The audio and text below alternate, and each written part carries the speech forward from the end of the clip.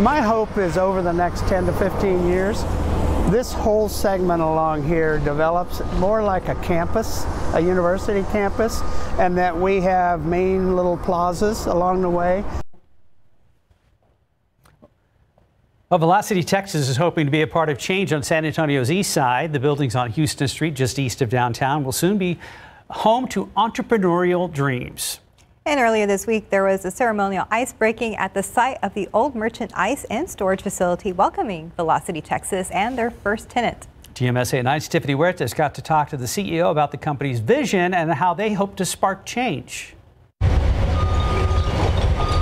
We believe this innovation district will put us on the map as one of the leading cities in uh, science and technology innovation in the country. Velocity Texas, which is part of the Texas Research and Technology Foundation, is behind an effort of innovation on the east side. They come to us and say, here's my idea, here's my patent protection, um, but I'm a scientist. And so maybe we need to put a CEO with them, but we bring in some business expertise. CEO and President Randy Harig says their mission is to help companies succeed from day one. Since opening their doors in 2017, that need has been expressed in their growth. The Texas Research and Technology Foundation purchased the four acre site on the east side of San Antonio. Part of the property will house Velocity Texas.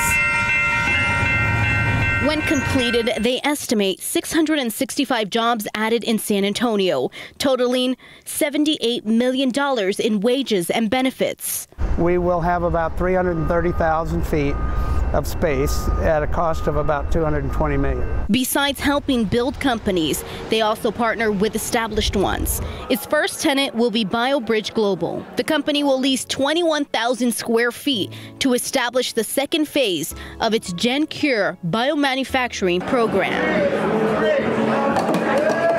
While building companies is their mission, their heart is also in the future of the community. We have a program where we're developing to go into the middle schools on the east side, talk to these kids about taking math, biology, and chemistry.